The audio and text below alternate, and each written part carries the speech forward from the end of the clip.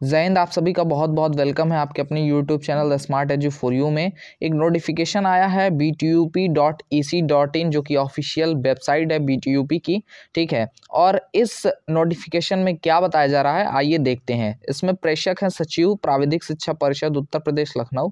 सेवा में लिखा जा रहा है, प्रधानाचार्य, निदेशक, परिषद से संबंध समस्त राजकीय अनुदानित एवं निजी क्षेत्र, यानी गवर्नमेंट, पॉलिटेक्निक और एडेड, तीनों के को जो है ये नोटिस दिया जा रहा है। दिनांक है पंद्रह जनवरी 2022 पंद्रह तारीख यानी आज ही की नोटिफिकेशन है। सब्जेक्ट क्या है? ये देखिए लिखा गया है।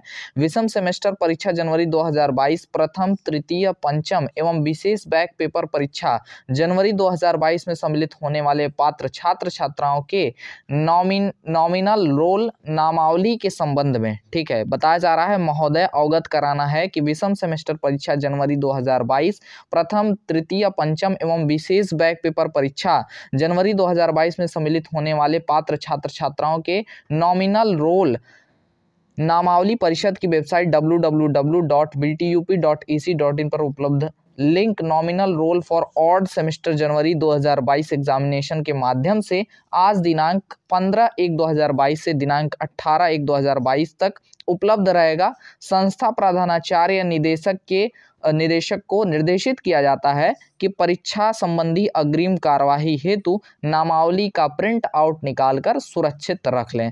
ठीक है?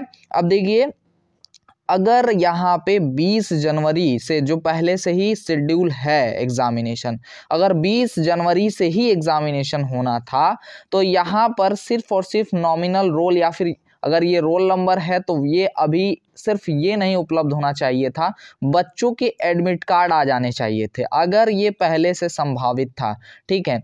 एग्ज़ामिनेशन तो होना ही है, आज नहीं तो कुछ दिन बाद होगा, अगर ऑफलाइन हो रहा है तो ठीक है। और ऑनलाइन होना है, जनवरी में ही होना है तो फिर कोई बात ही नहीं है। तो यहाँ पे अपने कई सारे जब यहाँ पे बातें पूछी गई हैं कई सारे न्यूज़पेपर में जो आर्टिकल्स आया है, उन्होंने साफ़ साफ़ कह दिया है कि जो अभी परीक्षा का प्रारूप है, वो अभी तय नहीं किया गया है कि ऑफलाइन होगा या फिर ऑनलाइन होगा। इस पर निर्णय 16 या 17 तारीख को आएगा, ठीक है?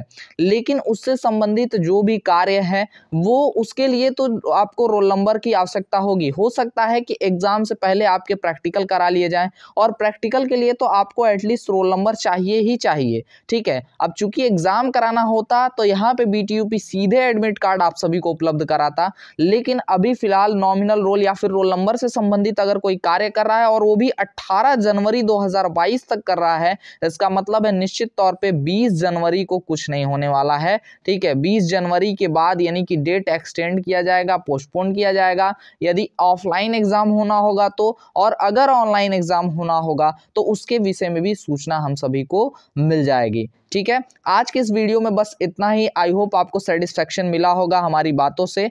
इस वीडियो को अपने दोस्तों को अपने कॉलेज ग्रुप में ज़रूर शेयर करिएगा। मिलेंगे किसी अन्य वीडियो, किसी लाइव सेशन के साथ। तब तक के लिए जय हिंद, वंदे मातरम। आप सभी स्वस्थ रहें, मस्त रहें।